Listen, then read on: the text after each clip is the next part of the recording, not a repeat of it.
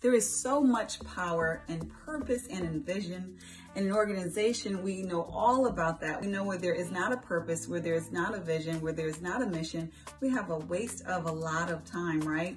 People really not trying to figure out what they should be doing from day to day. And that's how our lives are as well. Where there's a why, we can bear almost anything. This is what Friedrich Nietzsche said. I didn't say that, but the powerful Nietzsche said that. And it got him through a lot, you know, his family through the Holocaust by pretty much understanding and knowing that there is a purpose. And when we can absorb that purpose in our day to day activities, or in his case, resilience, then we can get through and not only survive, but then we can go on to survive. So make sure that you know what the why is. And if you don't, well, create the why. Ask for permission later because it will probably not only provide value for you, but also provide value for those around you. And have a wonderful day.